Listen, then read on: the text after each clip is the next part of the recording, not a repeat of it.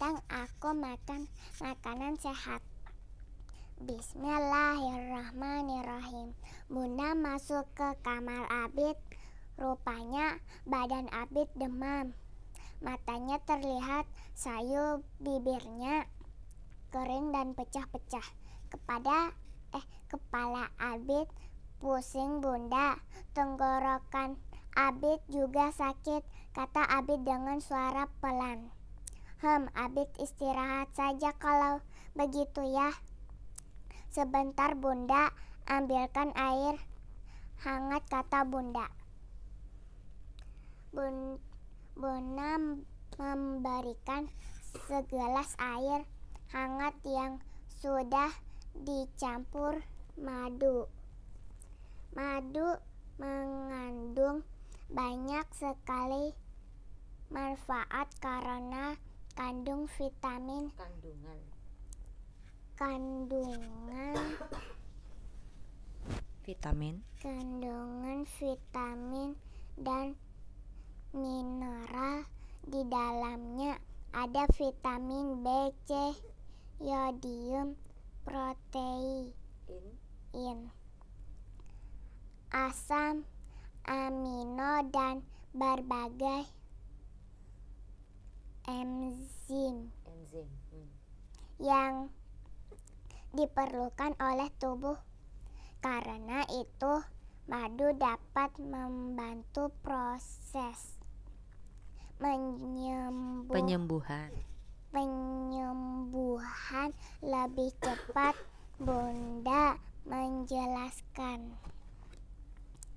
Tenggorokan Abid sakit bibir. Abid ada yang luka. Abid berkata pelan. Hmm, Abid kurang minum air putih ya. Abid tahu kan tubuh kita sebagian besar terdiri terdiri dari air. Kalau kita jadi jadi tubuh kita itu 70% itu uh, air makanya kita perlu minum ya yang banyak. Lanjut. Kalau kita kurang minum tubuh? Kalau kita kurang minum? Dan disambung. Oke. Okay. kalau kita kurang minum kita tubuh ya. kita jadi? Tubuh kita jadi lemas, bibir juga mudah pecah-pecah, dan luka seperti bibir. Abid sekarang terang bunda. Terang banget. Terang banget. Maksudnya dijelaskan bundanya. Iya bunda. Abid kurang minum kata Abid lirih. Abid mual mau muntah kata Abid sambil meng memegang. memegang perutnya. Kemarin jal jajan apa di sekolah? Tanya bunda sambil memba mem balur. balur perut Abid dengan minyak kayu putih. Minyak. Minyak, minyak kayu putih ya minyak kayu putih memang. Lila yang selama ini minyak kayu putih salah. Kayu minyak putih. kayu putih. Ya. Iya bunda Abid minta maaf. Kemarin Abid jajan sembarangan. Bekal sayuran dan ikan dari bunda juga sering gak dimakan sama abid-abid. Abid sama abid. Abid merasa bersalah dan malu. Bunda sayang Abid, Bunda selalu me menyediakan menyediakan banyak buah dan memasak banyak sayuran agar kita semua sehat.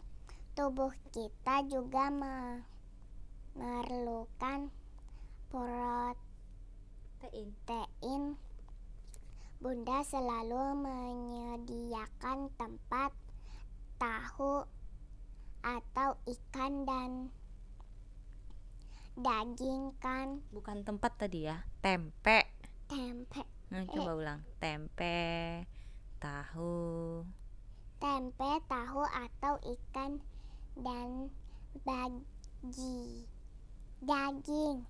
Kan bahkan beberapa sayuran dan buah manfaatnya untuk tubuh kita sesuai dengan bentuknya. Loh Abid Bunda menjelaskan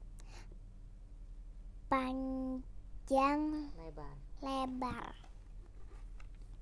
wortel misalnya kandungan beta Hah?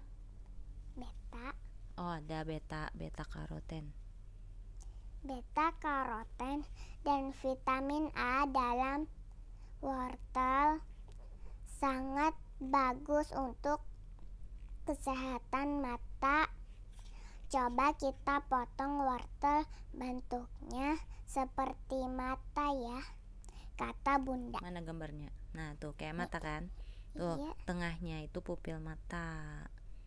oh yang ini. Iya, itu itu buat melihat.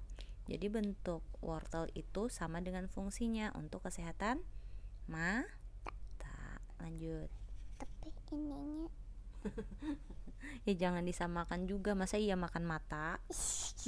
makan mata. Ya.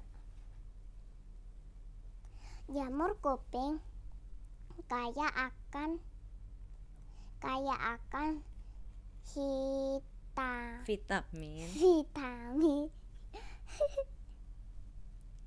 vitamin D yang bermanfaat untuk menjaga pendengaran kita tetap baik.